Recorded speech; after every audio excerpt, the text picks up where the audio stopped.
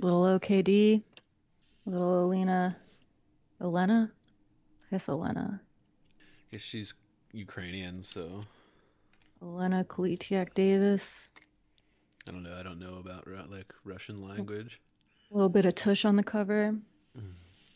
It's always nice. Get a fresh piece of nicotine gum here. Start fresh. Mm. You good? Yeah, ma'am. What the fuck are we even doing here? Yeah. Alright. What the fuck are we even doing here?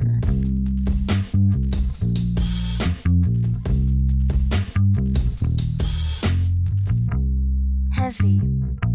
bored, Heavy. I am heavy, heavy, heavy. bored,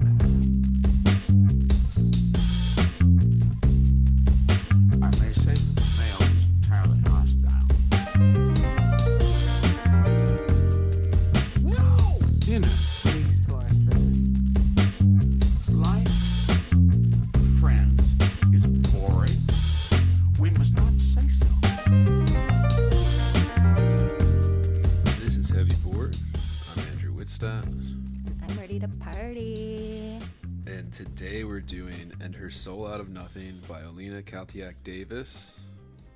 Kalytiak. Yeah, I say Elena Kalytiak Davis. Kalytiak. I mean, I don't think you have to do like a weird voice when you say it. Kalytiak. Yeah. That's what it sounds like to me. Yeah. Uh, and we have the same copy of this, right? yeah, I mean, I think there's only one that I know of. I don't think there were. Yeah. Were there other editions of this? Not that I saw, which is the nice thing about poetry books because nobody buys them. So like the original printing is probably still circulating, but Um, her second book had, uh, I think, a second printing or at least a second edition of it. yeah. it looks Because like that's the copy we both have is the second. I have all her books, but her most recent book. But I think Copper Canyon put out her stuff. They didn't put out the second book originally, but they put out the second edition of it, and then they put out her third book, and uh, I think her fourth as well that just came out recently. But I don't know for a fact. I haven't wa- I haven't read it. But we have do this. You know what? what You know what her fourth book is, ca- or her newest book is called? something odes or ode to something, uh, something like that. Uh, and it came out recently, I think, in like the last couple years, because in her, because uh, the poem she didn't write in other poems, I bought that when it came out, and that was like 2016, something like that. But anyway, uh, we both have the same copy of this. So University of Wisconsin Press, and this was originally put out in 1997. it won the uh, Brittingham Poet Prize in Poetry for her first book, and I think Rita Dove selected it. So we have the same copy. Housekeeping before we forget. Uh, for those that don't know, we do have a subscription plan. You can go uh, patreon.com slash heavybored to receive full uncensored episodes for subscribers only. If you don't want to do that, can't afford it, there are other ways to support us. You can check out our YouTube channels, subscribe, like, share on YouTube. That helps us out, helps the podcast grow. Free way to support us. You could also leave us a five star review on Apple. That helps us out, helps us grow. Uh, and of course, links to everything we cover is in the description. Where do you want to start, Soph? I guess just general thoughts. What'd you think? I had fun with this one. Um, I probably enjoyed this more than average, more than the average book. I think I had. Uh, I, I think maybe I'm a little bit. My view is somewhat determined by the fact that I had already read her second book and a lot like her third, and um, so I already had a very favorable view of her. Um, you can really feel that this is like her first book, which is like I don't know. I feel kind of shitty saying that. Um, but again, having read her later work, I think it's really you can see her beginnings in this book. You can see the um, sort of seeds planted before the next book comes out. Yeah, I mean, I wouldn't say it's a bad thing to say. I mean, it's very common. Like, you have to start somewhere in that first book. Usually, you get like a little bit more of like the younger writer, maybe the overly ambitious, maybe the kind of more failure in some of the stuff because the the skill doesn't quite lead up to the ambition. Not that these are you know not that they're bad, right? I mean, most people just to be good enough to get your first Right. first book out, but you can see this with all writers, and this is why Sophie and I always encourage on this podcast to listeners, you know, if you can find a cheap copy of like complete works, it's easier for poets because just like the books are shorter. So when you get the complete works, the you know big six hundred page tome of like a, a poet's complete works or something, if that's ever like a deal, like twenty bucks or under, I'll usually pick it up and just read from usually and usually when they're edited like that, there's like they do it in chronological order for books that came out like we did with Merwin and stuff like that. Listeners can go back like and listen to that. But you know, you see the growth. Like when you read somebody's books in order, all of them. You know, I'm reading a lot of John John Steinbeck right now, and I have this collection that Penguin put out of like all his short books, and they're like really kind of put in chronological order from when he wrote them and you can see like in his writing like he got really good right around after like the first five six years of him putting out books. Like then he got really good. Like and then like his books to, like went to another level type thing and you see this with a lot of writers. You know even really famous writers people are like oh these famous writers It's like yeah well they had like four or five sometimes even more like i think even norman mailer or somebody had like eight books out or something before he ever broke through uh, Don DeLillo, the same type of thing. Like, you know, you have a couple books before you really get really good, and then everybody notices, kind of thing. Yeah, and I would say, I mean, also there's a thing in poetry where I feel like first books tend to circle around the same few things, and that's also you could say that of a lot of poetry, but um, you know, parents dying, losing religion, getting married. and like those are those are the big themes. And that's not a bad thing. You see traces of other things. Like you said i think uh you know sometimes what happens is like you can see how they aren't quite as tight the poems aren't quite as tight as some of her later poems you also see more like cerulean you know it's not blue it's azure like, things that I identify as like, oh, we're a young poet and we really like to say, you know, It the most interesting yeah. version of blue. The word the word cerulean always makes me think of uh, the Devil Wears Prada uh, scene. You know what I'm talking about? No. Where she's like uh, taking notes at that meeting, and she like scoffs while they're putting together the shoot for the magazine, and then you know she looks at her and she's like, "This stuff." Like kind of thing. She's like, you you go to your closet and you pull out what this lumpy blue sweater, and you don't know that this blue is not turquoise. It's not. And she goes starts going through blues. She's like, it's actually cerulean. And I think it was in 2003, right? Marc Jacobs did a, and then it just goes on Yeah, this whole yeah, rant. It's fantastic scene, um, one of the best scenes in the movie. But that's what it always makes me think of when I hear cerulean now. The association I have with that phrase, because it's like a pompous, like really specific thing. I guess is what you're saying, right? Like it's like a very Well, sort of, but I think like it's just like, oh, I like the way this word feels in my mouth, you know, like, or it just has to be not just blue. And I think also that's a thing that we do when we're like young poets. It can't be blue. It has to be something specific. Yeah, and you'll see this sometimes with younger poets. Like a big word that doesn't fit the rest of the piece is shoved in there because I think it's literary or poetic or something or complicated. When in reality, you know, like not that simple's always better, but it just, um, you know, be mindful of that when you're composing poems and you're starting out. But yeah, for me, I had similar. Like I love uh, Elena. Uh, I have a tattoo on my body from her one book. It's like uh, this book is yeah definitely her first. Um, but I was introduced to her with Sophie uh, when on her second book, Shattered Shattered Sonnets yep. and uh, got really into her and uh, bought all her books. And I always say my favorite work that she did was the chapbook she put out in between Shattered Sonnets and um, the poem she didn't write, another poem. Which I'd is say right now, Shattered Sonnets is probably still my favorite. Yeah, Shattered Sonnets is better than her third book, but then like there was like this in between period. That's why I always bring up the chapbook, just because it's like, uh, It's on the table from which everything has been removed or yeah, neatly removed, or it's I don't it's remember. uh, on the kitchen table from which everything has been hastily removed. Yeah. Okay.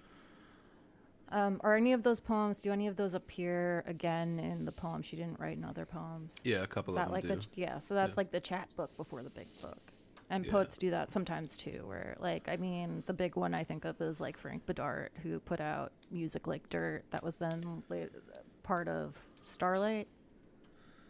yeah, but also that chapbook because we both i remember reading starlight and thinking like man like this chapbook is definitely a book inside this book that doesn't need to be like this is the better book um, the chapbook was the the thing yeah, i thought because it was just like this like little book of like the tightest poems that then went into this other book you know yeah.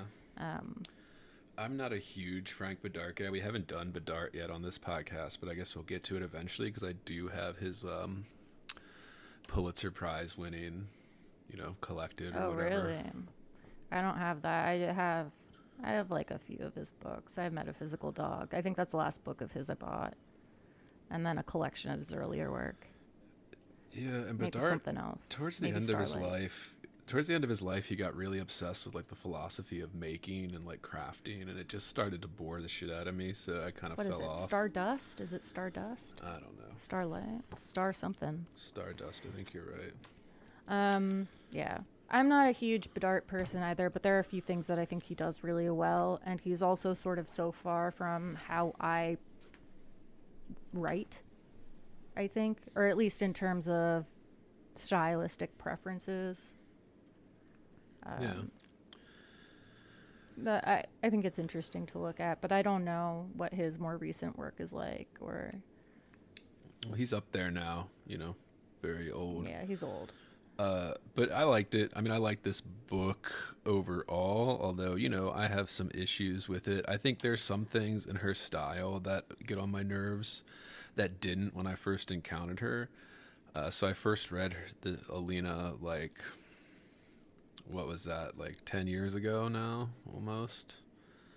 That we first read her second book. And then this book, I think I read for the first time maybe like eight years ago, seven years Wow. ago. Yeah, I didn't read this book for the first time until right now. So this one uh and like Sophie said like it's it's it has that promise in it, but it does suffer from the kind of young poet mistakes or Yeah, it's interesting. It Tropes. is hard to remove. I wonder how I would feel about this book without being familiar with her later work because I do like it, but I think part of what pushed me through was also that bit of curiosity. It's also like just sort of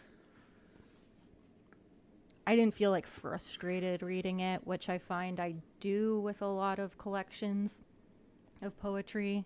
Um, I mean, we've encountered that in other discussions about other poets, but um, nothing in this book, even where it's at its like kind of this is gonna sound rude, but I want to say messiest, even when, or you know, you could say in its rawest form, where maybe like it's not quite as tight as it could be, even in its like sort of most haphazard places.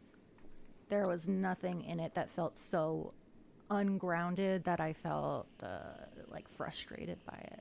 I still wanted to keep moving forward. No, I wasn't There were- frustrated. yeah. yeah. But it was oh. long. Like that's what I kept thinking. There's like oh, 55 poems I think in this All of her books are kind of, aren't they? I mean, I know Shattered Sonnets is very long. yeah, um, but those are all like since they're broken sonnet form, I guess they just don't feel as long because they're They don't. There's also the rhythm. There's a really strong rhythm that carries you through, and uh. because she uses a lot of short lines. But yeah, it does Um, it does fall victim to the kind maybe the maybe that's one of the things I think that is the first book trope where it's like you're putting your first book together and maybe your first time putting together a book so you put everything in it, you know, and and kind of you haven't developed that kind of well I could lose these five or something, you know, cut out these five for the book.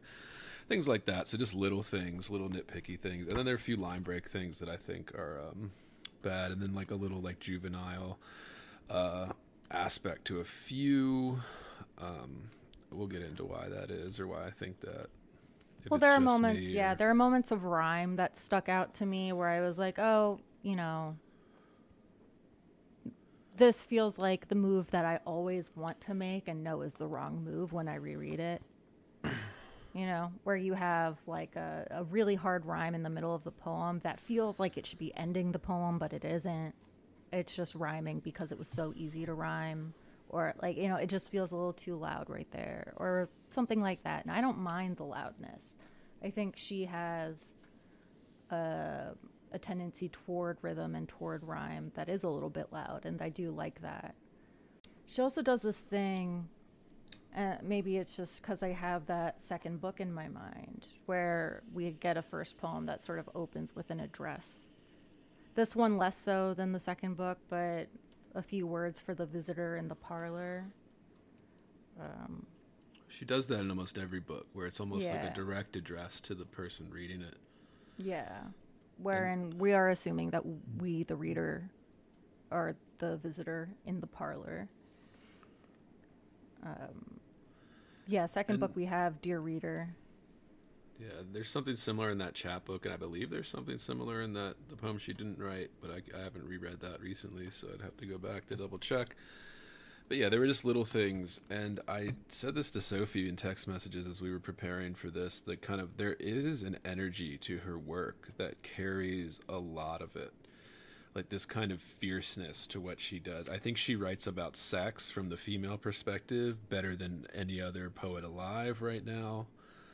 Um, I think that there's just this kind of it, it's kind of like a yeah i mean the best word i can describe it is fierceness like there's like a fierceness to it like a a fuck you to it to some extent that is- bitchiness. yeah that is and I want to qualify that. I don't mean bitchiness in any kind of bad way. I think, you know, we think of it that way, but I don't think in the world of poetry, I'm not thinking of bitchiness as a bad thing so much as like a, you know, I think you said a fierceness, um, something, uh, something really biting in it. I think it's the thing that we're drawn to when we read um, Ariel by Yeah. Sylvia Plath. I think that's what like every girl who picks up that book is like drawn to immediately.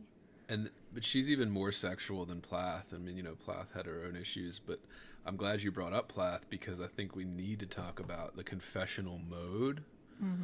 Um, and I have a lot of thoughts on the confessional mode and like what it's done to literature over the last mm, what 60 years, 70 years.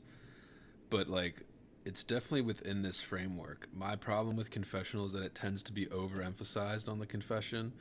And really, my big theory on it is all literature is now confessional. Like, confessional movement never ended. This is what the basis, I think, for autofiction. This is the basis for most fiction in the second half of the 20th century, where it's look at my life, look at my unique perspective, look at these bad things I did, blah, blah, blah. I'm not a caring person. Something that, like, the Gen X generation of writers, I think, really captured. Um, and then, of course, I think millennials are mostly just stuck on repeat right now in terms of the confessional movement being the driving factor. I'm confessing my sins to some extent, like um, the bad things I did, the things I feel bad about, or whatever. Yeah, or it was like about breaking down like the eye of the poem, right? Yeah. The speaker. Who is the speaker? Um, pulling in personal events. A situation where we feel, yeah, the speaker of the poem is really close to the poet, if not the poet. Right? And I do find myself, and I was texting you about this too, I do find myself like having to stop and sort of check myself and be like, am I just inserting her into this? Like, because there was a moment where I was just reading every poem is just like this is Olena and I had to sort of place that veil back down and just be like you are the mysterious like poet speaker and Right. try to separate a little bit about of what I know about her from how I'm reading. Yeah, and it's it, I just yeah, I mean that's part of the confessional. I think it is implied that it's the conf- the I is the poet in most of these in most of her work and I think this is what is you know was good for literature when it happened and then is also kind of detrimental to like the whole as we constantly go back and repeat what has already been done basically like this kind of like I don't know. I'm just really again. I've I've completely rejected at this point in my life. It may change at some point in the future, but I've just like really rejected the generation before me these last few years, where I've just been like disgusted by Gen X writers and. But that's not true either because there's a lot that I like. But it's like, yeah, I'm just like, oh god, you guys are still Well, there's doing a what they were doing get in the tired of. '60s. Like you're still doing what everybody was doing in the '60s. Like There's still stuff that's really good, but it's hard Yeah. to, to sift through because that's a lot of what there is right now. oh, it's all there is right now. Um, but yeah, I always think the first poem of any collection is interesting as sort of a guide on how you will read the rest of the book, the themes that you'll come back to, the ways that you'll sort of pick it apart. Um, what about that that opening yeah. quote. I guess the book is dedicated to her parents. The oh, you mean the opening quote? You mean Yeah. about um, somebody once said to me, "We must make the same efforts as lost, desperate beings." Believe me, with a handshake, Vincent. Yeah. What do we think? No clue. I didn't really make much of it, honestly. I could have taken or le- like I, I could have taken it or left it. Is it from something? It might be. I wouldn't be surprised. We must take. I Yeah. know that she refers to Vincent van Gogh's letters at some point later on in the book, so I was thinking maybe it's from something from that. Yeah, and that's one of the things that I that says that this is a first book to me, or at least screams it's a first book, is that there's a lot of poems that are really on theme for the book and all that, and there's a lot that kind of strike me as hodgepodge tossed in there. So I mean, you know, it's just a a common trope of first books type thing, but yeah. Uh, dedications, nobody cares. Uh, all right, yeah, a few words for the visitor in the parlor. Yeah, I'm not getting anything on this quote. So, something to look up later. Oh, yep, it is Van Gogh. Van Gogh to his brother. Van Gogh. There it is. Very, very Gen X. And there are a lot of appearances of artists throughout. Um, first poem, we get a number of Russian artists, or I think Russian. Pivovarov. I don't know if I'm saying it right. Um, Victor Pivovarov. There's references. Conceptual, conceptual artist. There's reference to Breton. Um, Dostoevsky does like a few. Yeah, I was just thinking like this first poem, sort of the setup. We get this uh, recurrence throughout the book of, you know, this first line every time you wish the sky was something happening to your heart, you lose twice. Um, we get this constant coming back to the sky is something happening to you or not happening to you or um, trying to locate, I don't know, distinguish boundaries between self and surroundings, between self and the environment. Um, but then also, like, there's this line. Well, there are a few lines. And yes, my house is a word, but my words, aren't they words also? Which I think is just sort of one of those moments of where she's being kind of punchy, but also genuine. Yeah. of saying, "Look, this is artifice, but look, isn't this also just this?" Um, and that's probably boiling it down too much. But you know, even that, a return to the idea as like the poem as a structure, as a building, right? Um, the stanza is a room. Yeah. So there's a lot of that, and that feels very sort of poet-ish to me. It feels like somebody who's just learned to love poems, but in all of the ways that I like, in all of the same ways that I'm drawn to.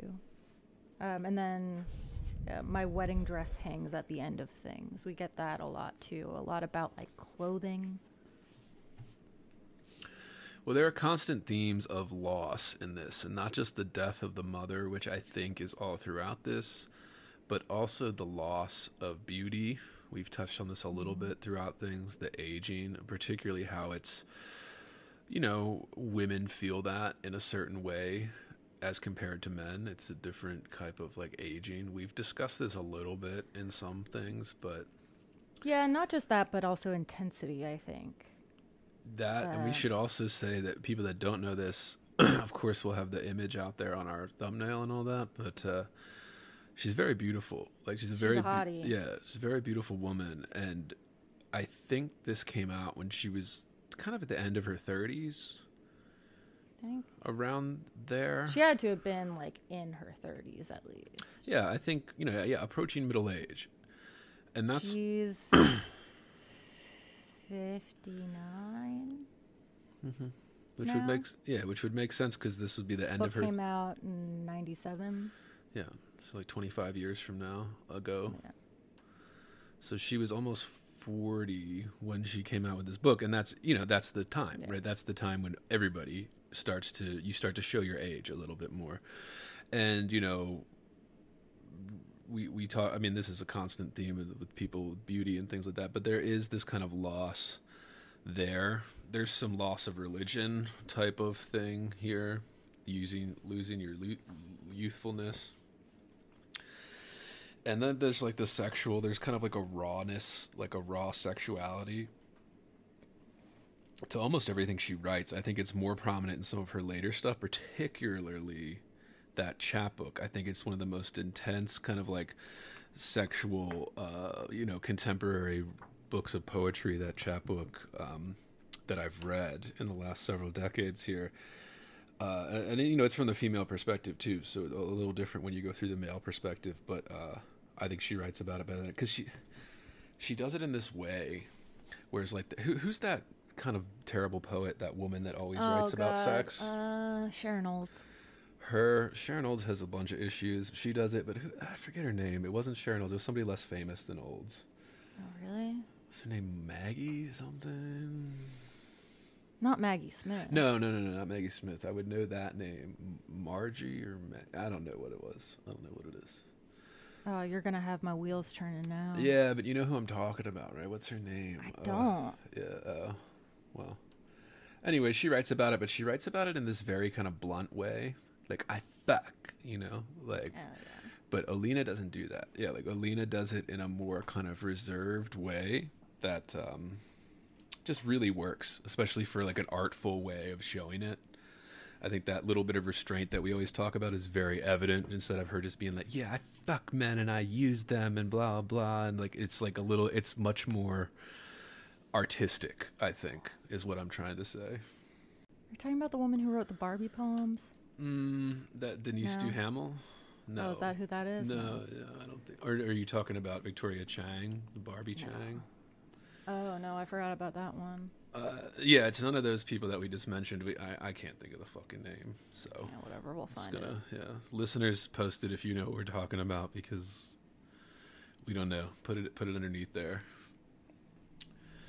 But yeah, there, there is that. I think that's a good. You know, we give a nice little overview. Pick up a copy. You know, as always, listeners, keep it on your shelf. We recommend buying all of her books.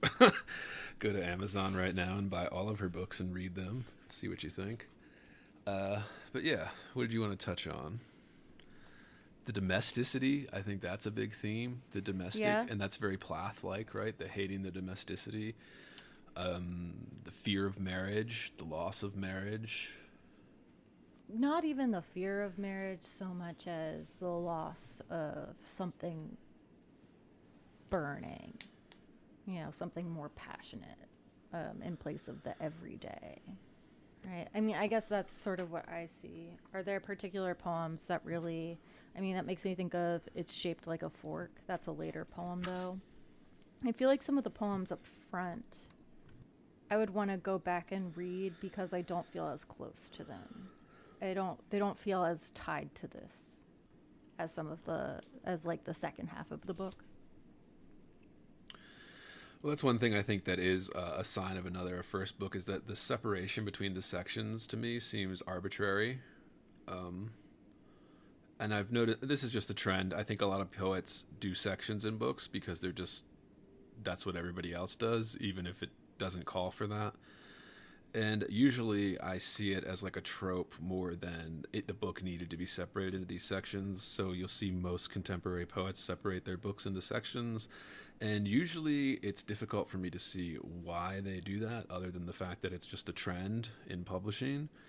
But yeah, for this is one of those times where I did kind of feel like, you know, why even bother to separate it? It's so long. A lot of these things, like I don't feel the movement between sections. I mean, you can correct me if you felt differently. So, what do you think? Um, there were moments where I felt like, oh, you landed on this idea and you started this next section on a similar a similar place and she does that with some poems, but yeah, it didn't it didn't particularly strike me except that as I read the poems felt more like they belong together. Um, I think some of the strongest poems in this are in the last section. Yeah, me too. yeah. Um, I would say almost all of the strongest poems are the, in the second half of the book. Yeah. One, I mean, what did I? Did you mark anything in that first section that you want to hit? There's a few that I marked, but not because I really liked them, but because I thought there were a few issues. But then, of course, I have ones that I marked because I thought they were really good and I liked them. Yeah, there are a few that I marked. I mean, I struggled with. I'm only now beginning to answer your letter. I've I reread it a few times. What page? Um, that's the first one in the first section. Page seven. But other than that, yeah. And I have read Who Cares About Aperture a few times because I was sort of hung up on that one. Um, the two that I marked as like interesting to me were The Outline I Inhabit and Mutilated Versions of My Personality. Write poems, treat me with irony and condescension. Do you want to talk about them? Sure. Which one? The outline I inhabit. Yeah, I am curious of like, what did you think about I'm only now beginning to answer your letter? Because I was really struggling. That first one.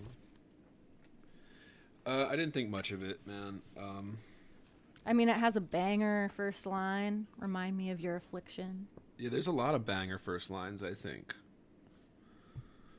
she has a lot of good lines, and then sometimes the poems are seem to be built around those few good lines. But yeah, I mean, I didn't think much of the first couple poems.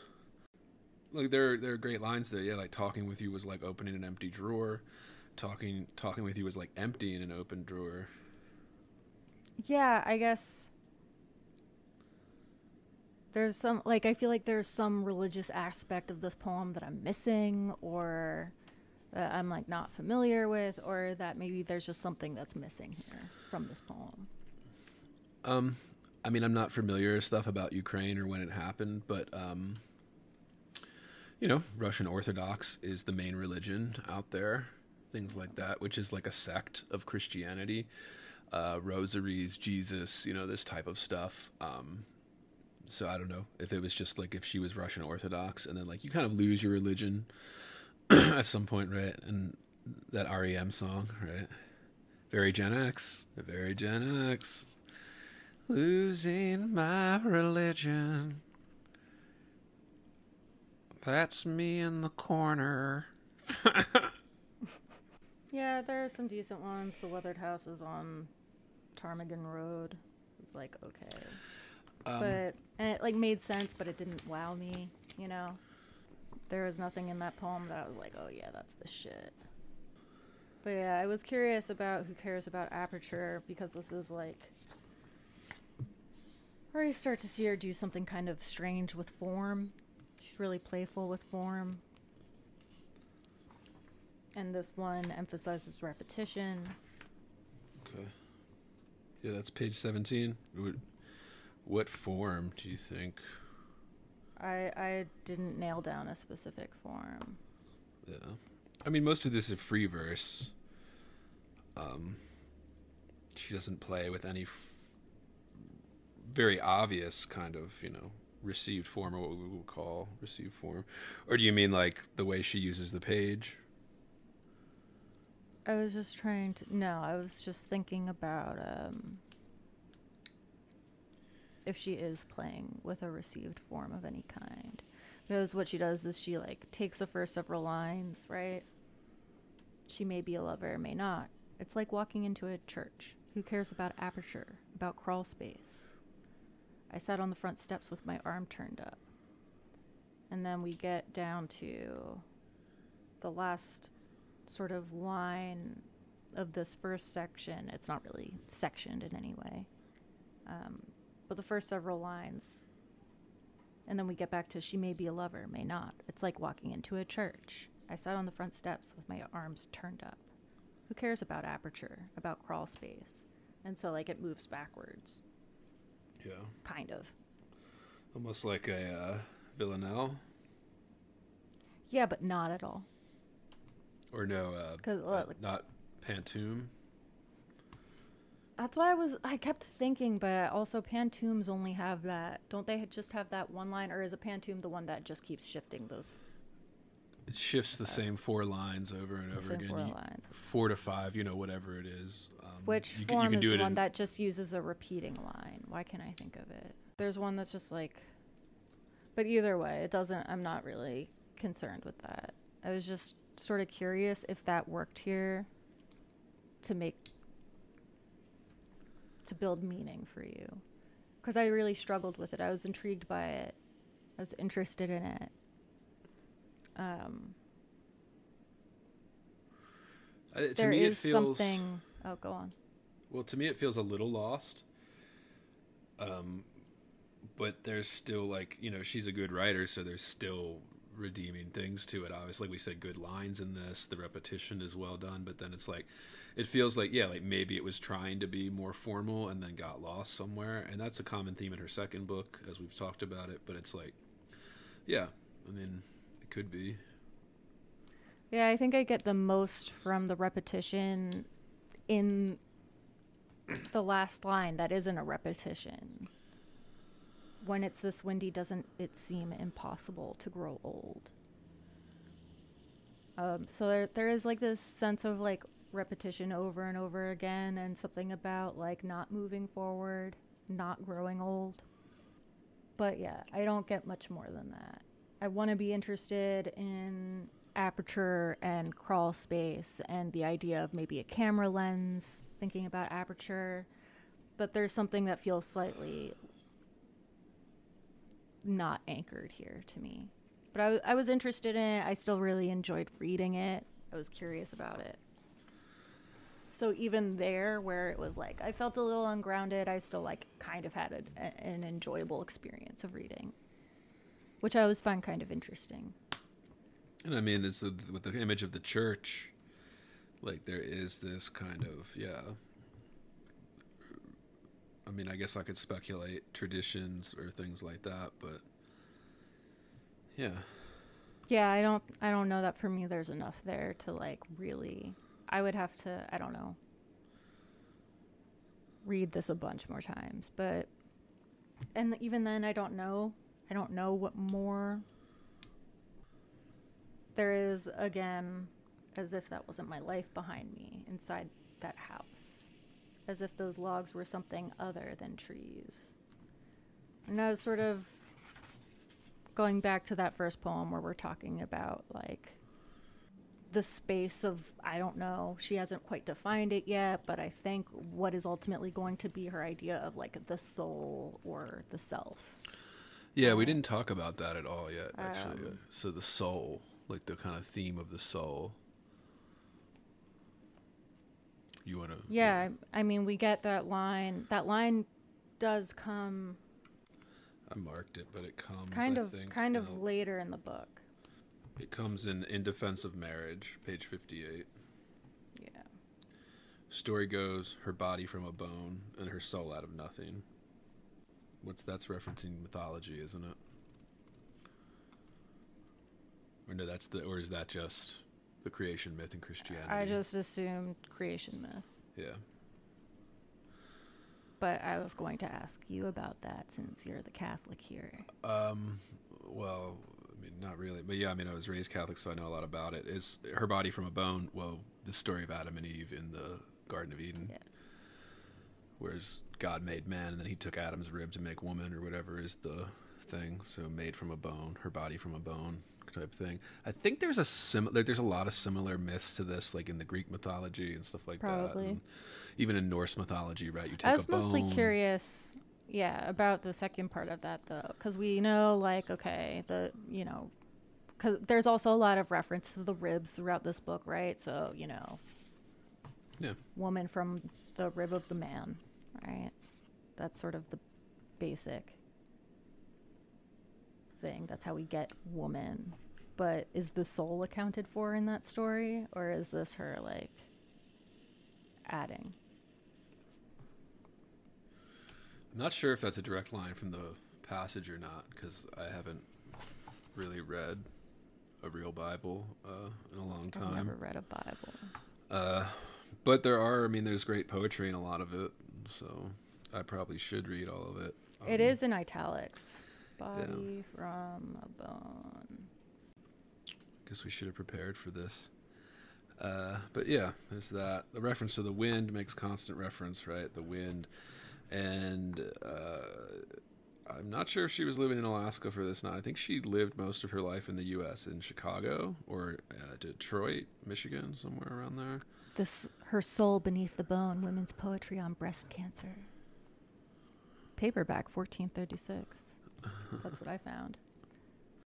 But yeah, I don't know if what uh, whether that's actually like a biblical line or from anything sort of surrounding Bible literature. But either way, I enjoyed that. I think it makes sort of sense of like trying to okay what does the soul come from where do we locate it like especially in this story of religion that we keep coming back to throughout the book I mean, all, all, of the West- references yeah, to her ribs all of Western literature. like, yeah. something of great import right it's like one of the body parts that we see the most i feel like in this book Yeah.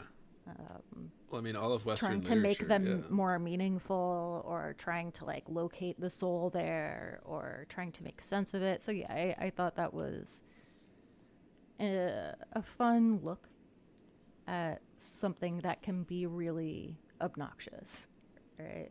Anytime you talk about the soul it's like talking it's like talking about love right? You have to do it really well you have to do it in a way that's interesting or in a way that hasn't quite been done before. Uh, what else did you want to talk about in this first part? You said I outlined the outline I didn't have it. Oh, you know, this is one of the ones where I thought it was like really tight up front, and then as it went on, I was less certain. When did these numbered sections become a thing? One. Two. You know what I mean? Yeah. Well, when or why? Like, Yeah. Do we have any idea when this started to become like a trend? I have no idea. I mean, I'm sure there are older poems that have sections, right? I mean, we see Sections, but I mean like. I mean, like the modern the modernist poets did this, Yeah. didn't they? Eliot did this. Um, I would say in this particular way, I think we got kind of I don't know, it became really popular. The one that I always see is like definitions. Yeah. And it'll be like a travelogue or it'll be like definitions of burning and it'll be a bunch of words that have to do with burning that are then like redefined in some poetic way. I see a lot of that and I get kind of bored of that. It can be done really well. Um, I thought this was kind of an interesting take. The outline I inhabit. Again, thinking about not the just the body but the soul, how it takes shape or how we sort of locate it. Again, that's really vague. It it feels to me talking about like, you know, referring to the soul feels a lot like the way we talk about consciousness in poems. It feels easy to make fun of. But I'd be actually more curious to talk about some of like the second half of this book, unless there are any that really stand out to you here. I mean, I think the first section, imagine what pain says, and the ghost making fog, the phone rings. Sure, I'm unnerved, but I listen. I strain for meaning. So when I hang up, everything's sore. When I hang up, I have to write down everything that hurts. Imagine what pain says. We'll keep in touch. Yeah, Pain as a character, Pain pretty. I mean, I guess do you think we get like a an explanation as to the pain here? Because the pain does start to disappear after that first section there. At least, the, at least the reference to it.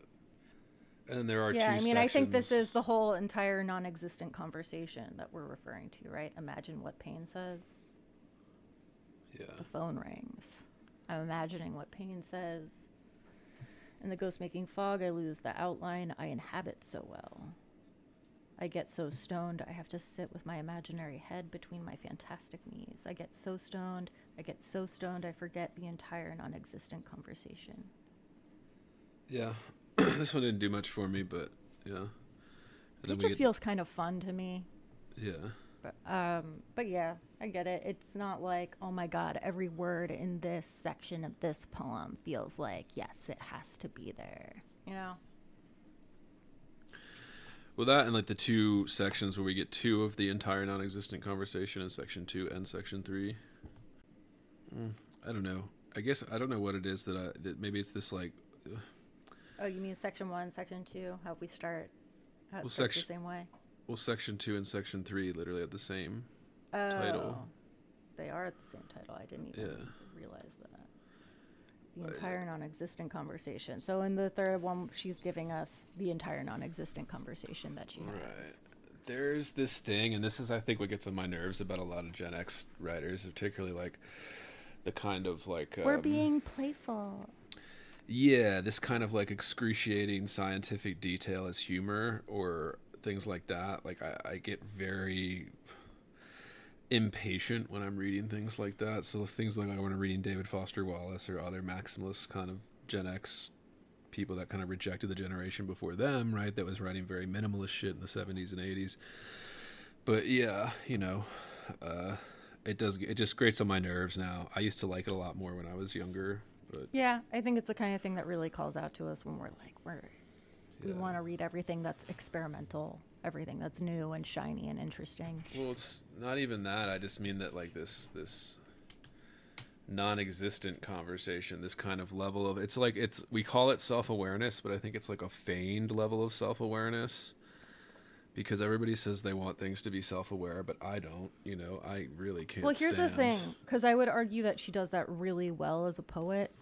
Not so much in this poem, um, but I think worth talking about that she does this thing where I feel like her poems, some of that biting that we talk about, I think become it like happens when she becomes the poem. I guess becomes self-referential and it can sometimes lift it up from being too melancholy oh the soul you know.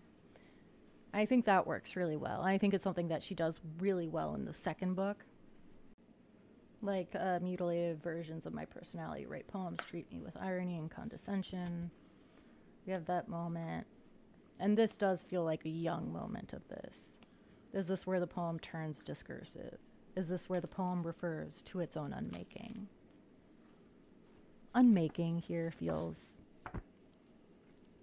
vaguely annoying to me.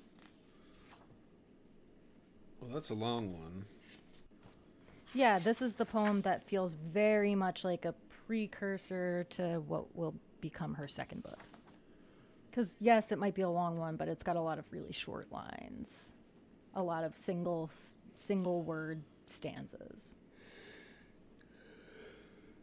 Yeah.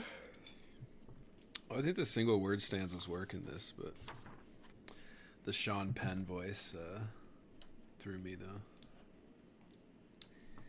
When you hear Sean Penn talk, Oh god. And you're like, and he's like, I don't know. We'll say soon. Soon we'll we'll all be dead. I mean, I know that's an exaggeration of how he talks, but that's how I hear it when he talks.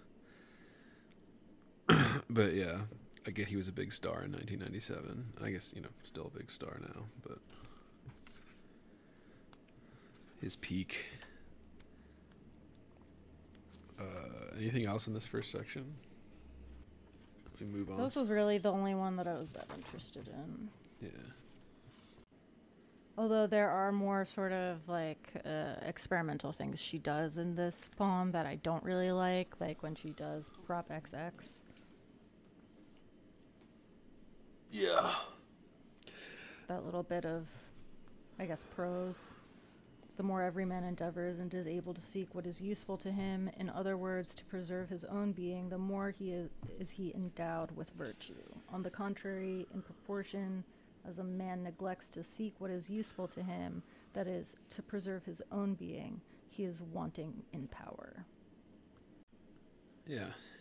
It's not an idea I have a problem with. It's just like I don't know why it must be presented in this way in this poem.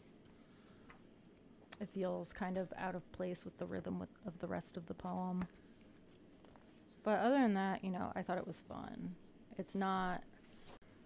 We get this repetition that starts to sort of help you make sense of it instead of, um, you know, the Sean Penn playing Pessoa in a movie. We get a bird. It's okay. That bird should remind you of something, something troubled. a voice will say, Don't you worry. A voice, maybe Sean Penn's, will say, Soon, soon we will all be dead. Soon, soon we will all be dead. Soon. soon we will all be dead. Just always think of him in I Am Sam, Yeah. but the I Am Sam hadn't come out yet in 1997, so yeah, all my uh, Tropic Thunder fans will know what's up, right? Never go full retard. Don't believe me? Ask Sean Penn. 2001. I Am Sam. Went full retard. Went home empty-handed. Solid movie. Oh yeah. Uh, the one I liked for I guess this is technically the third section if we include those single poems by themselves. Uh, you know, at the, at the, at the beginning and the end. So technically it's the third section, but I kept calling it the second and third. The one I the one I liked the most in this section was the river twists like Lakeshore Drive. And I did notice as it moved into this section that it did become a little bit more sexual. And uh, maybe that's just intentional, or maybe that's because, like, as she was putting this book together, she was becoming into her own voice, which has a lot of undertones of that. That's page uh, 39. Sorry. Yeah. Like those sex crazed fish drunk on water, racing into my taut, taut net strung out across the river. Like their iridescent scales still littering the river's floor, the way they suck your skin, the way they stick to you, the way they know. You were once a fish, and now you're drunk on air because that's how you feel. That's how foreign. This is the way. We will eat and sleep and talk. Even real people play it. Inuit Adam and Eve probably played it. Alaska is not far enough. Once my friends were pulling me under and I had to swim for my life. Once I looked good standing there. No one could see the inside of my head. Once I had a plan. Once I saw myself as more than myself, as more than just a fish. And just last week, the chant of an Eskimo woman, old and ugly and fat with the world. You can always get another man. You can always get another man. The task of it, what I loved was the physical task of it, pulling in something whole and alive and glittering, something weighty and silvery and slick. Once I looked good standing there. Yeah. Yeah, that's a great line. Yeah, what do you like about it? Like I said, I think this is the one when I was reading through that I just realized like how sexual it was getting, and it became more explicit, I guess. And then the kind of themes of aging beauty, lost beauty, lost youth, lost faith, lost love, all of that was kind of culminating. And I think this is where the book start started to kind of really pick up for me. Yeah, I mean, I think that this is a solid, tight little poem. Yeah, all the lines work in this pretty well. The breaks are pretty uh pretty well paced. Yeah, and I mean, like the extended metaphor of having fish racing into your net. I mean, it's really kind of almost like a basic fish in this, like more, you know, plenty of fish in the sea kind of image. but it works really well. Something weighty and silvery and slick. But she's talking about the game, right? The game between the sexes, catching things in her taut taut net. Yeah, it could also be her vagina. Well, not that it's her vagina, but like just the metaphor itself, like catching fish. It's her vagina. No, I'm just joking. Well, that too, and that's why I got like the kind of like um, I think it could be though. We're talking about creation, Adam and Eve, the theme that kept coming up. I mean, it all is and it isn't, Yeah. right? If it could be, it is. What's the saying? Everything's everything's about sex except sex. That's about power. Yeah. I don't know who said that. I forget, but you know, famous quote. Well, that's also like a good summary of this poem. Yeah, well, just this idea of like the game, right? The task of it. What I loved was the physical task of it. The casting your net and catching something, pulling in something whole and alive and glittering, Yeah. It's a power thing. and not necessarily I mean, the I actual it- act of sex. I don't want to go that literal with the metaphor, Yeah. but I want to talk. But like it is, you know. Talking about something bigger than just the act of, you know, putting a penis in a vagina or whatever. It's literally Yeah. the act of you know and it, this is what i mean by like the female perspective of sex there's like this fishing not like fishing element to it but it's like uh, the things that men and women get out of it are different kind of thing Yeah, they can be. and the idea of we've talked about this a little bit on other episodes the female desire to be desired Yeah. kind of It's thing the sex before the sex. yes like that's what i mean That's where the real sex Yeah. is. but only for women like yeah like yeah. That's the difference right there It's yeah. Twilight. it's Twilight, but it's like not tween. You know, it's like a real world Yeah. adult woman. Yeah, like this is somebody who's lived in the world, many sexual partners, experienced a lot of that, married, divorced, you know, kids, gave birth, all that kind of stuff. So not just like some young girl who like likes the boys talking to her, getting attention. It's like a little bit deeper. I don't know. I just thought this was like simple enough, and that's one thing I do like about her is that she's she's usually pretty simple. Uh, and I think that's usually where the best poems get. I mean, not always, right? You know, some masters can really get complicated with it. It's very interesting and good, but like, you know, most people don't need to get that complicated. Like, if you have something to say like this, you know, the river twists like Lakeshore Drive. I'm assuming Lakeshore Drive. She's referring to the city in Chicago, the street in Chicago. Where I lived in Louisiana, there was a Lakeshore Drive too. Like anywhere where there's a lake, right? There's like a Lakeshore Drive that kind of goes up around the lake and it curves around the kind of lake in the city and all that. Uh, yeah. Yeah, I mean, I think it kind of continues in Angels and Moths Where's that? on the next Oh, page. next It's the next page. Wasn't as big on this one, I think it's because the moth kind of got made it get a little bit lost. But what did you think? Yeah, I was just interested in it as sort of maybe looking at the chase from another angle and not so much the chase but like the aftermath um, but sometimes i feel someone remembering me that way translucent crazy awake only at night so here we're referring to a moth He's regretting his fingertips were not wide or soft enough. He's mourning me now. He's imagining me eating away at someone else's light. And that's perfect. That's exactly how he always wanted to love me. My wings, my hair like antennae hanging, my frenulum between his forefinger and his thumb. Yeah, it's not quite as, um, I don't know direct in its metaphor. But yeah, just the idea of being wanted, I think, is like what it's getting at. And that's perfect. she says. She wants to be remembered this way as this like desirable, interesting thing, or so it seems.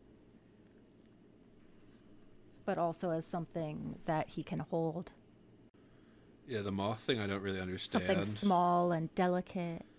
but I just probably don't know enough about moths.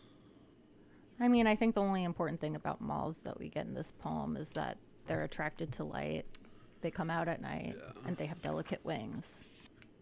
I think that works here. Uh, anything else you wanted to get out of section two? I just had that one, or section three rather. Sorry, technically.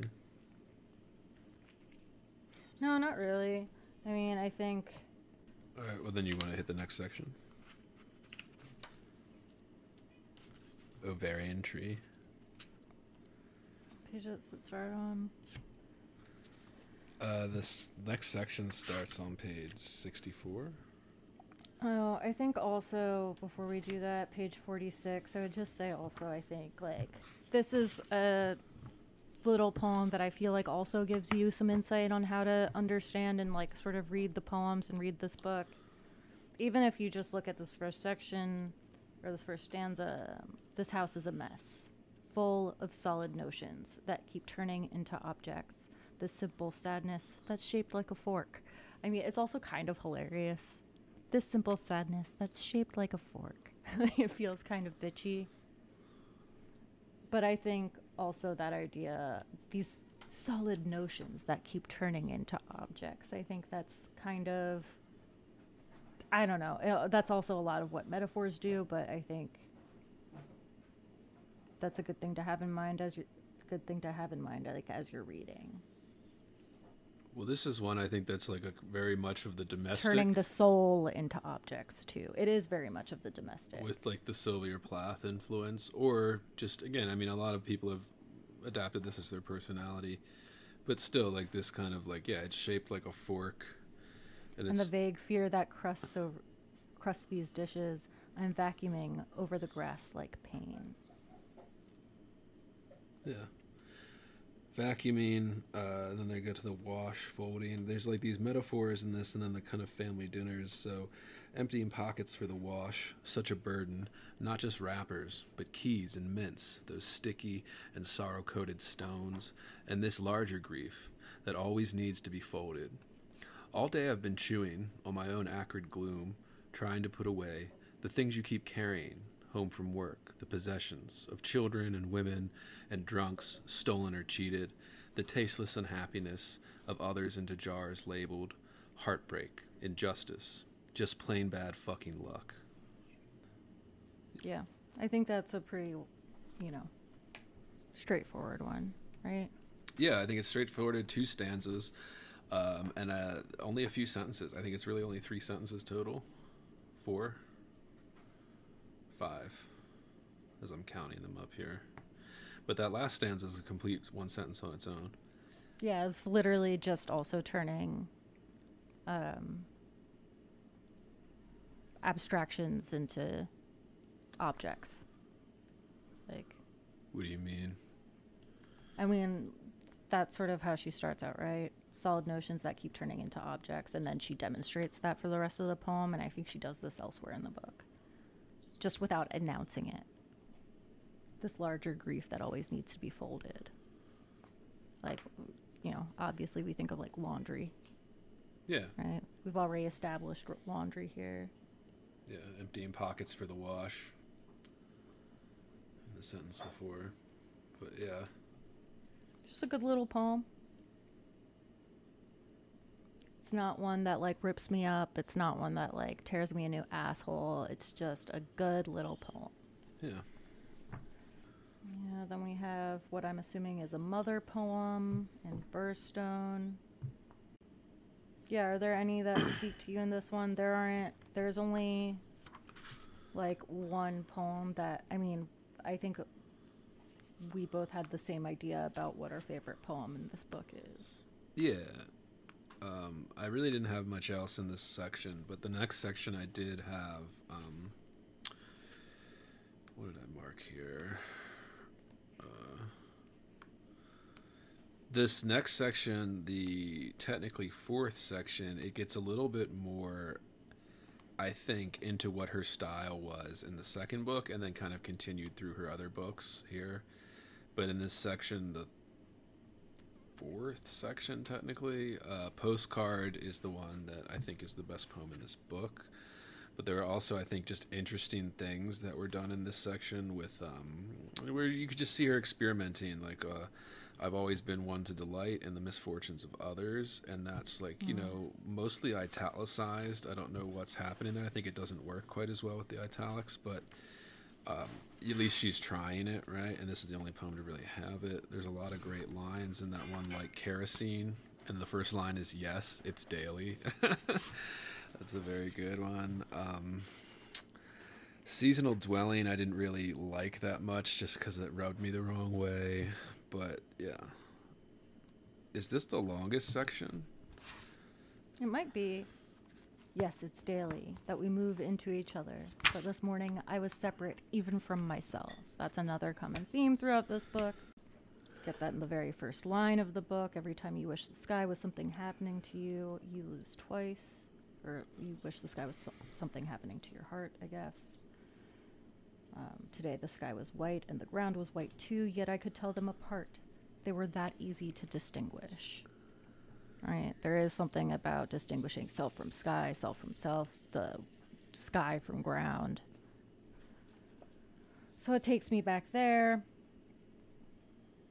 Yeah, there were other moments that you were interested. Well, the one is seasonal dwelling on page 67, I think is a good example of what I didn't work for me in the book. At least that's how I marked it. Where, you know, that The starts. thinking soul is conducting an experiment. Yeah, already it's the kind of turning me of off. investigation. As soon as you have felt something, throw it away.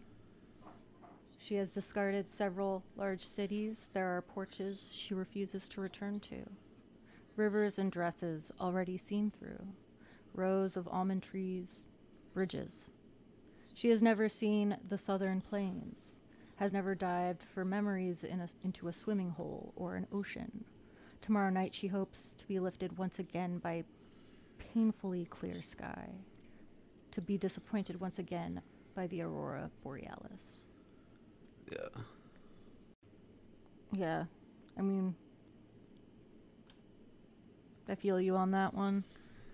Yeah, this one I think just exemplifies things that I think weren't working. Whereas again, this kind of again, it's just me personally, this very Gen X kind of to be disappointed once again by Aurora Borealis. This idea that was kind of inherited by our generation, where like, you know, beautiful things suck. I fucking want to see the aurora borealis. Yeah, exactly. Most people do. But it's Granted, unique and cool, and I'm a pick me art girl if I think Aurora Borealis sucks, kind of thing. You know what I mean? But also, like, I live in Alaska. Right, so you see it all the time if you live in Alaska there. Yeah. Yeah. I mean, she does live in Alaska, so there is Mm-hmm. that. Yeah. But yeah, we know what Aurora Borealis is, and then like, yeah, this kind of like, oh, like throw it away, feeling something, being afraid. I don't know. It just strikes me as tired now. Maybe it wasn't in 1997. But Yeah, I mean, it probably wasn't. I just reject this a lot. I reject a lot of this kind of this this fiend or like faked apathy by the previous generation of American writers. Yeah, I don't even think that with her, though, it's apathy. I get what you mean. That's what I mean. I don't think it's apathy. Um, yeah. I think it's self. I self do pity. think, like, or like later. I think, well, I think it's like, And you see a lot of people do this. I see a lot of Gen X writers do this. Uh, Bret Easton Ellis might be the worst offender on this, I think, from what I've read. Which is, I don't care. I don't care about anything. Don't you understand? I'm cooler than every, you know, kind of thing. And it just gets on my nerves. yeah, I don't think that line is great to be disappointed once again by the aurora borealis. I don't think. Yeah, I get it. That's what I mean. It's there for aesthetic and not so much for, you know, it's there for the shock value. I'm bored by this beautiful thing. And I get it, right? Like, this is something Plath would do. Um, this is something a lot of great writers have done. Uh, you know, Berryman, great literature bores me. You know, You think Plath did that? I don't know. the sentiment of it.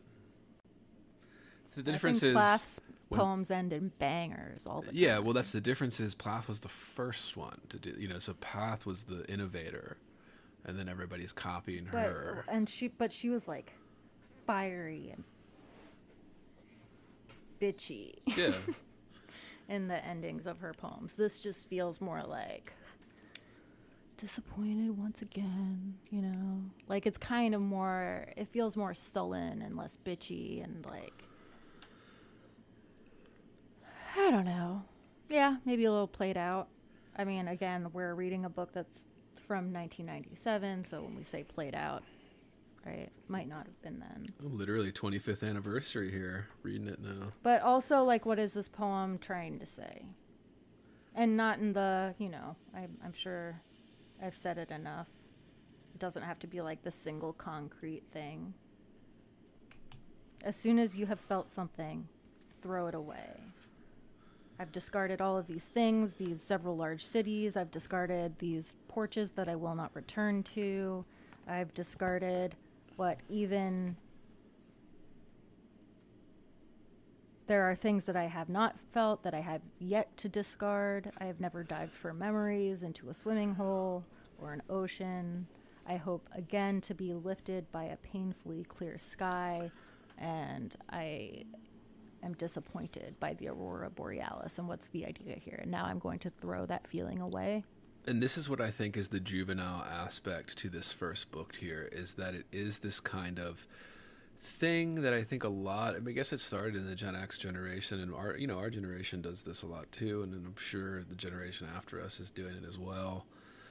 It's this sentiment. It's this kind of like, and I don't mean to pick on this poem. You know, I'm talking more generally now, but it's like this sentiment of I'm bored and that makes me unique and that makes me a great artist and type thing. You know what I mean? It's this sentiment of you know, I'm bored while reading Shakespeare. Shakespeare, therefore Shakespeare sucks. It definitely isn't me that's the problem, you know. All this kind of stuff like it's I don't know. It just gets under my skin. I I just really every time I see like apathy as an artistic ethos, it just really Well- bothers me. The thing I kept thinking of by comparison to this poem was um, one art. What are the lines? I've I've lost cities. Um, that I think maybe, like I feel like there's something logical that this poem wants to say that I'm not quite, quite getting.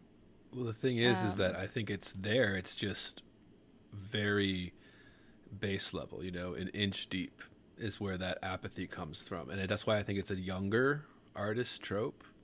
Yeah, I mean, but I very much get like a sense it's of like easy. we just read one art for the first time. Lose something every day, accept the fluster of lost door keys, the hour badly spent. The art of losing isn't hard to master. Then practice losing farther, losing faster, places and names, and where it was you meant to travel. None of these will bring disaster. You think this is why did I you, mean, why I- did you? Do I think this is what? Why, why just why did you bring up one art again? I mean, because I think it it expresses similar ideas in a more artful way, or in a clearer way. I think it's like talking about it, like it's almost like it's taking that idea instead of losing, it says throw it away. It feels Throw like it- the same idea. Throw it away because I don't care. I don't care. I don't care. I'm artist. Yeah, I don't know. It was just something interesting. Like I could not I'm an think art of that hoe. poem while I was. yeah. I could not think of that poem while I was reading. yeah, and like I said, I don't mean to pick on this poem, but I just mean like the overall thing that kind of turned me off from this, going back and reading it as I'm older, is the kind of juvenile aspect. And again, it's a very much that generational, that kind of like small generation that started grunge and just hated everything, right? Everything sucks. Yeah, we all have this though. We all have this from like in our 20s, in our teens, in our 20s. That's what I mean. Yeah, it's a teenage kind of idea of what an artist is or what art is, or that that makes you unique in some way. Doesn't have to be teenage, just like young enough or new enough, Sure. right?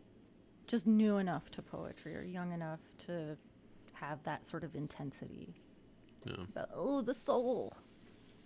I, I I feel the same way when I read like you know like the the the Don DeLillo stuff and all that everybody praises. When I read that, I'm the, the Oh, irony. well, that's just like the whole well the humor and irony and that ironic humor that Gen X loves to do. irony and the I don't need to have a plot. And I get DeLillo isn't necessarily Gen X, but like he was publishing at that time and was like a big influence. You know, it just is lost on me. It's not funny anymore. The humor doesn't hold up to me, kind of thing. You know what I mean? The ridiculousness that it's like is, is, is easy. It's an easy way to call yourself profound. And maybe that's what, like I said, I think it's just a personal issue I have, like my personal cynicism with the art right now but that's just you know what I'm thinking of recently when I'm reading a lot of these. You know, as as the Gen X writers are kind of aging out and our generation is getting this kind of turn, I'm noticing more and more. Maybe I'm just reading more, better, wider. You know, more educated.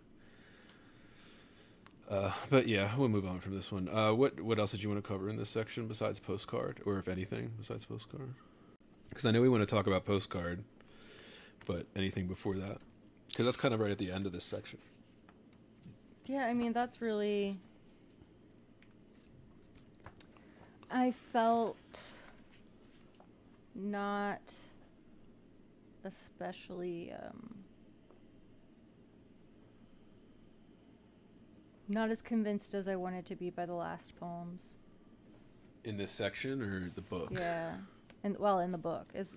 I mean, this is in the book, right? Like this is the last section, or there's one more. There's one more where there's a poem by itself, Where so it's like a the single poem. yeah, just like the beginning.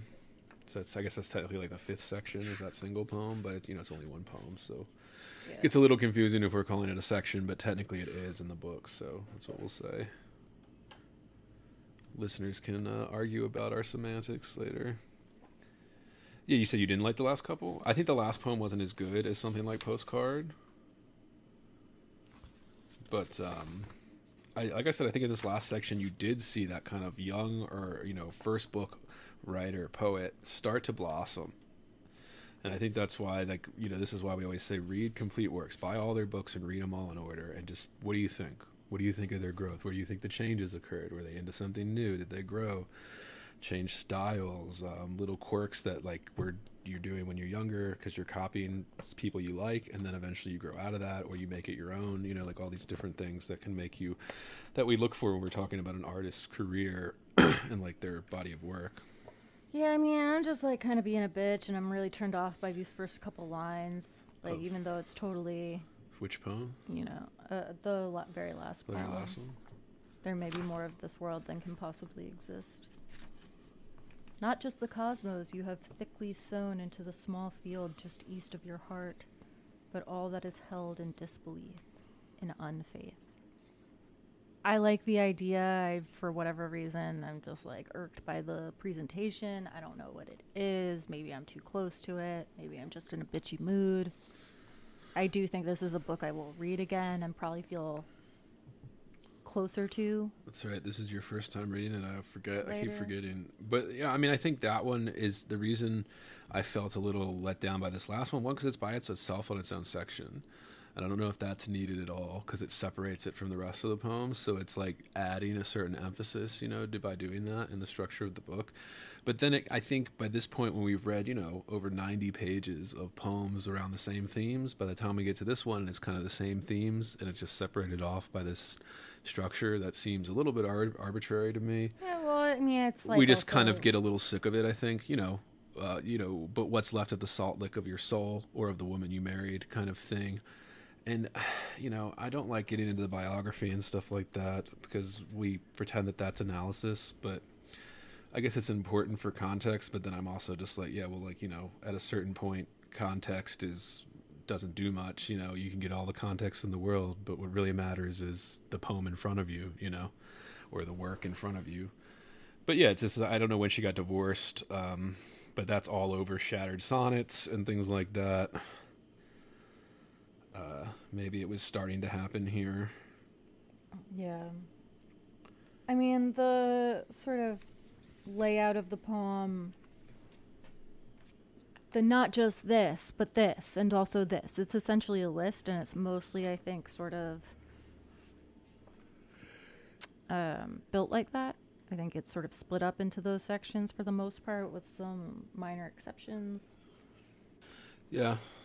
And I think this one has the line variations don't work as well as it does in other places in the book. And that throws me a little bit. All those quiet hours when you thought you knew what you were talking about, but you were only scrubbing your soul with salt, saying, Let what is grain turn to grain, just not meaning it. Let what is grain turn to grain. Do you make something of that? I think I was thinking maybe something about um, let these objects be themselves, not the soul. Let what is grain turn to grain. My soul is grain. Like I was sort of following. I was trying to follow all these threads in my head. But I'm not Well- nailed down in any one specific way. Well, like kind of like it is what it is type saying. Like let what Yeah. is grain turn to grain. Uh, just not meaning it is how I read it. Okay. Just curious. Not that we have to nail it down in any one way. But since it's the last line of the book, I'm always interested to see if we can make sense of it. Do you want to hit postcard? Let's hit postcard. Lately, So- I am capable only of small things. Sorry, you want to talk first? No, you can go on read it. Lately, I am capable only of small things. Is it enough to feel the heart swimming? Jim is fine.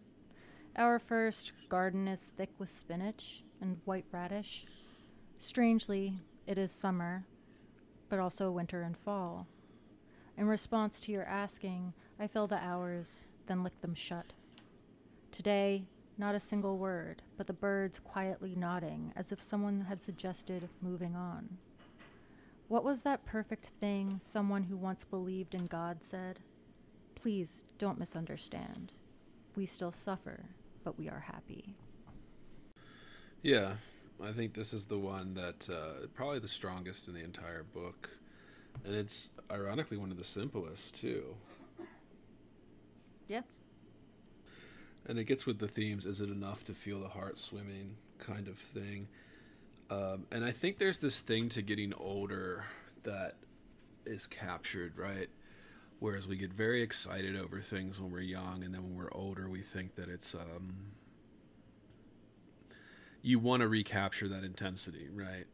you Yeah. see this a lot in relationships and things like that too, right? You have that puppy love in the beginning, that kind of infatuation, and that kind of feeling in your gut, that burning desire fades away. Is it enough to feel the heart swimming, right? Is it Yeah, enough? well, I mean, I would ask as opposed to what? what do you mean? Swimming as opposed to what? Should there be an opposition here? Swimming as opposed to drowning? Or, like, just is it enough to feel the heart swimming as though the heart swimming is some indication of, I don't know, big feeling? Yeah, that's what I would say. I mean, is it enough to feel the heart swimming? Jim is fine. I think that is something that she also gets really good at in the next book. And you sort of see the beginnings of that here, where we go from this sort of romantic phrasing to, yeah, Jim's fine. Something very conversational. Well, lately I am capable only of small things, and then it is enough to. Is it enough to feel the heart swimming? You know, small thing, or Yeah. like basically that you don't have to be doing anything or capable of that, or like, but you know, is it enough to feel? but also yeah jim is fine. Doesn't jim is fine doesn't really express some great passion right? Is it enough to feel the heart swimming? Jim's fine. Like there isn't something specific that's igniting some passion. There isn't some fiery romance. We have this garden. It's thick with radishes. It's springtime, things are growing, but also it is winter and fall. I take that to mean we are in the later years or the end of something. Yeah. And also, though, when you live in weird places like Alaska or you know, Yeah. out, out where I live, where like strangely it is summer, but also winter and fall. You, if you took it literally, like there are weird weather patterns in places where you have a lot of mountains that change the weather, like literally in the same day. It could just drop temperature all of a sudden because the covers up the sun or you know all that kind of stuff. But yeah, and then you also take in the more metaphorical way, summer, but also winter and fall. This kind of, um, yeah, I don't know. Yeah, I don't know why I was reading it as like spring before, but yeah, it's summer. Things are growing. I was thinking spinach and white radish aren't those winter vegetables? That makes sense. Probably. The winter of our discontent. Yeah. Um, but yeah. So yeah, I mean, you could definitely I could see that as a literal thing. But I think also when it works well, it does it can do both. In response to your asking, I fill the hours, then lick them shut. So a little bit of an allusion again back to postcard or an envelope or a letter or of course poetry, right? Today not a single word, but the birds quietly nodding. So yeah, this kind of to me goes back to is it enough to feel the heart swimming? There isn't like some great passionate thing that's pulling you in. Today, not a single word. So again, I fill the hours, then lick them shut. We're thinking envelope, we're thinking letter, we're thinking writing. Today, not a single word from anyone, including possibly yourself. But the birds quietly nodding. Anytime I have birds, I think poetry, I think song. She refers to birds um, in the context of herself, or the speaker refers to birds in the context of their self throughout the book. As if someone had suggested moving on, quietly nodding as if someone had suggested moving on. What was that perfect thing? Someone who once believed in God said, Please don't misunderstand. We still suffer, but we are happy. Right? It's I, I think there's something really effective here that plays with that in between space. We're not bad. We're not amazing. We're good. We're Yeah, I fine. mean, it definitely sing, sing, single like like you said the end of things. and it that has its own kind of um, loss. Yeah, I mean, it feels like a breakup poem or a death poem or like um. Again, this kind of I, I believe it's. I'm. This is a theory I have, but I mean, I believe this. To, I mean, again, if this is about death, it's one thing. If it's about breaking up, it's another. There's a fantasy that most of us have in our heads, right? About how life is supposed to go or how we wish it would go and then there's the reality and then when that fantasy and reality diverge we believe that it's because of something in our life or we put it onto somebody else in our life. Um and i just think that's like a learned kind of like well it's not like i wanted it to be therefore it's miserable or we're suffering but yeah. Yeah, I mean, I think if we're at the end of something, I wouldn't even say it's like it feels like a breakup poem so much as it feels like a we are no longer in the young passionate phase of life kind of poem. We have to move forward and we don't know how, yeah except to fill the hours and lick them shut, you know. And I think that is it's a really tight little poem. It's one that I will enjoy going back to and reading again, continuing to gain more clarity on it. Yeah, that's the of heart No, go the- on. the heart swimming i mean this is what i mean by like the fluttering and then the fading and we're you know there's a bunch of stories and pop culture and movies about the initial fluttering the initial infatuation And then I think a lot of people take what everything is supposed to be from those stories, those fictional things, and then we just get like, I don't know, we get too caught up in that. Yeah. This is what it's supposed to be, and it's not being that. So, you know, I don't know. Honestly, the more we try to dissect this, the more I'm kind of fading away from this poem, but still. The more I dissect things, the more I usually become interested in them.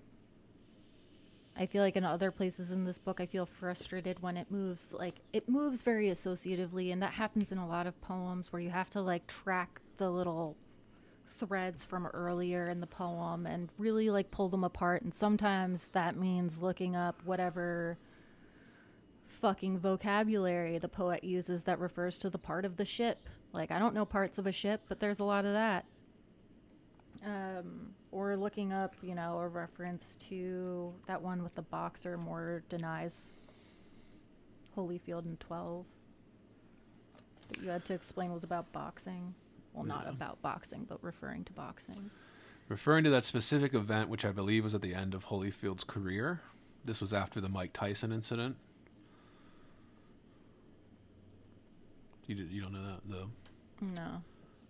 Mike Tyson and Holyfield were fighting, and Tyson was losing, even though he was expected to win, and he was so desperate that he bit his ear off. Like Oh, like, the shit. famous- okay, that's what that's yeah. about. Okay. Well, that's not what this I've, poem like- is about. I mean, That's not what that poem is about. But like, that's the famous Mike. That's basically Tyson's claim to fame. Mike Tyson. Other than ear. being, you know, a great one of the best boxers to ever live, that's like his. I guess big, I just mix him up with Ozzy Osbourne sometimes. that, and then his their tattoo on the face, and he had like a huge breakdown. It became a joke in The Hangover like ten years later, but like when that happened, it was like, what the fuck is going on with Mike Tyson? But yeah, I don't know. Did you want to talk about that boxing one? That's way back in the beginning. Not really. I struggled Yeah. with this one. Yeah, and then the first line is Caesar's Palace. I'm a Vegas person, so I know what that Yeah. is. Yeah. Um, and I guess there's a lot of beating up, right? One minute you're talking weather, then a nasty left right in the second round. Yeah, I just get a sense of like an aging father in this one. There, that's sort of what I was reading into it. I don't know if that was like wrong or if I made that up. Actually, let me open it up again. There are definitely other poems I liked more than this poem. Yeah. So when Mike Tyson has this line of weed gummies now that are shaped like an ear, but a piece of it's missing because he bit off that piece of Holyfield's ear. Yeah. No. My father getting out of the car. I'm squinting. His shirt is that bright. I was stunned for a minute, but was able to clear my head. I think that's a direct line. Yeah, from what? I think from one of the uh, actual like The fighters? interviews. Yeah. Yeah. Yeah. I didn't. Yeah, I didn't watch any interviews. Yeah, boxing Just is. I'm not a big boxing looked up guy. the fight. Yeah, I don't know I- a lot about boxing, but I like a few sports, and then if you like a few sports, you just get the gist of like the overall. You know, Yeah, I don't. I'm not a big baseball guy, but I know who Mickey Mantle is and who he played for and when. You know that kind of thing. But I don't really like baseball, but. I still know that just by like default, being like an American man that like grew up in uh, America. Yeah. I feel like yeah, everybody's dad was really into baseball or whatever. Yeah, this just feels like a poem about losing your father. And I think Moorer this this fight. I don't know enough about it, so correct us listeners if we're wrong here. But uh, I believe Holyfield was expected to win and more upset him, which is why the uh, it became like more of a famous fight, or it's a fight she was watching with her dad or whatever. It was a big fight because Holyfield was a huge boxer. Yeah. This one ends. Well, you have that line because my father used to be two men, but now he's old. And then at the end, but suddenly I'm going down saying, I've been holding on with my teeth. I've developed this strange social stutter. I had to let my cutman go. I struggled with uh, what to make of this one. I, feel like I've said that for everything. I feel like I say that for every fucking poem we talk about. I struggle to make it. But um, Cutman, I'm not sure, but I think that might be referred to as what. Um, it's the person who prevents, who, who like stands in the corner and is supposed to like Right. treat injury or prevent injury or. yeah, well, because when you get hit in the face, right, that famous scene in Rocky where he's got that swollen black eye, he can't see out of it, so sure, they had to. didn't watch they- it. Yeah, well, they take a razor blade, and they still do. I don't know if they still do this, but back then they did, and they would slight slice right above the eye to relieve the pressure, Ugh, so he could yeah. open it again and keep fighting, type thing. So they usually do that, and then they'll like let it bleed a little bit, and then you know put some Vaseline or something over it. I think you know UFC and stuff like that similar. I, I don't know. I'm not a big UFC person either, but yeah, fighting is fucking brutal, man. You get pretty. I have no desire, no desire to get into a fight with that cut man or whatever. Yeah, I don't know. Anything else you want to hit on? I think we hit. I hit everything I wanted to. Yeah. I hate the line with Bob Marley taking that one long drag on the refrigerator door Oh in the poem right before. I, like, am I? I don't know. I didn't love it, but I do like this book. I want to reread it. I don't know. I feel like I repeat myself a lot when we talk about poems and say, I just, I don't know. I'm not sure. I just had this feeling. It feels like this. You know why you hate that Bob Marley line? Just 'cause it's like fucking annoying. Yeah, exactly. It's this. This is dorm room pictures. Bob Marley hitting the J. You know, whatever. And this is where, you know, that. uh I don't know when Bob Marley. I guess he was always the counterculture, but then like in our generation and stuff, maybe it was the generation before, where he became like this kind of countercultural symbol that like wasn't countercultural anymore because it was just so commercialized and main, you know, kind of thing. You go into Walmart and see Bob Marley on like a blanket, like a oh, throw Oh, yeah. blanket, or you know, like that was a little later than this probably too, but I mean, that Yeah. shit's still around. yeah, it's still around because that's what I mean. It's become like a commercialized symbol of this kind of like what was countercultural when he was doing it at the time before he died, and then you know starting that kind of not just musical revolution, but kind of a cultural kind of like countercultural kind of revolution that Bob Marley was the face of. It became you know it just became a kind of a commercialized symbol now, so you can get it on T-shirts in like Target and all that. And, having a picture of Bob Marley hitting a joint on your fridge. I mean, that was in almost every dorm room I went into for a party. You know. But yeah.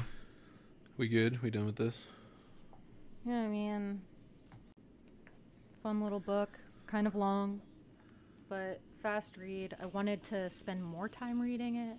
I still kind of want to spend more time reading it. Again, I fucking say this about every book of poems. I feel like I'm never spending enough time with it, and then I say some dumb shit, but yeah, Yeah. I like this book. Um, I like Olena, Olena. Like, I like her work. Dude, we should get her on the pod, dude. I mean, she's great. I feel like she's also like insane smart, like crazy smart, like very well read. Has that kind of Yeah. just a biting intellect that kind of horrifies me. Yeah.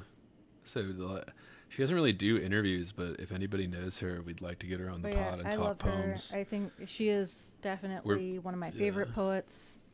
Same. um, like I said, I have in my her one top book, five. but like, yeah, and she doesn't give a lot of interviews. I've emailed her for interviews before when I was running lit mags and Mm-hmm. Me stuff. too. I know Sophie has too. Yeah. And she's just one of those that just doesn't Mysterious character. Yeah, just doesn't respond because she doesn't have to, and just yeah, No one asked to. yeah, I, I just I'd like to get around here and do like a talk or something. That I think that would be a lot of fun. And I mean, Sophie and I are fangirls of her, so like we said, we'd like to have Olena. Uh, anybody out there will uh, get us in contact. Yeah, I mean, Be appreciated. really phenomenal. Looking forward to getting her newest book that I guess came out in 22. Yeah, yeah, yeah. That's what I saw. Yeah. And I will. I haven't been. I haven't gotten it yet, but I will because I buy everything she writes because she's again one of the best living poets. Her and Nick Flynn are like the two that I'm like, oh, I don't even care what it is, what it's about, what the theme is. I'm gonna buy it. Like I'm gonna buy that book and read it. Maybe it'll be great, but uh, maybe it'll be terrible. Usually, if it's not great, it's just okay anyway. But like you know, I respect those two writers, those two poets living in a. I guess she's an American poet, even though she's like a Ukrainian American. I would call her American because. Yeah. All that kind of stuff. But yeah, that's it. We done here? Uh, fucking yeah. Yeah, we're done. Let's be done. Yeah. All right. Uh, reminder to listeners, we're still looking for workshop horror stories. If you have a workshop horror story you want to share with us, please send that to heavyboredpodcast at gmail.com. You can contact us there as well. we like hearing from our listeners.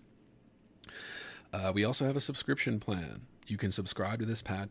You can subscribe to this podcast at Patreon.com/slash HeavyBored, where you receive full uncensored episodes for subscribers only. That includes bonus episodes, Q and A's that Sophie and I do whenever we get a couple questions thought in. Uh, if you don't want to do that, can't afford that, there are other ways to support us. You can leave us a five star review on Apple. That helps us out, helps us grow. Free way to support us. We appreciate it. Uh, you can also check out and subscribe to our YouTube channels. Uh, that helps us out. We usually have all of our free episodes up there as well as clips. If you don't have time to listen to the whole episode, check it out. Give us a subscribe, a like, a share. It helps us. And of course, everything we covered, including links to the books, is in the description. And next episode, we are doing uh, Fitzgerald's The Great Gatsby.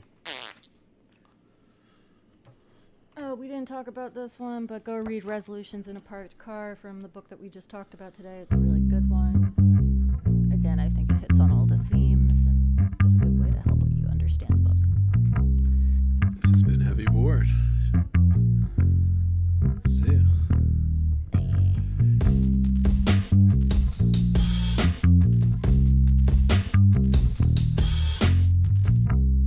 Heavy.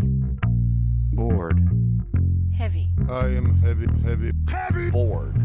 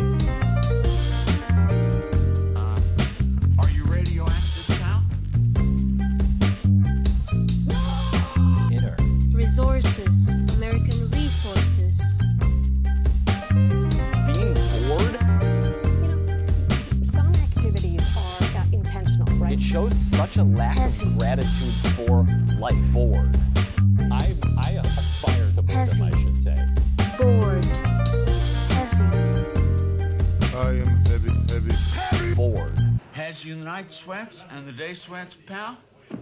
Pal, I do.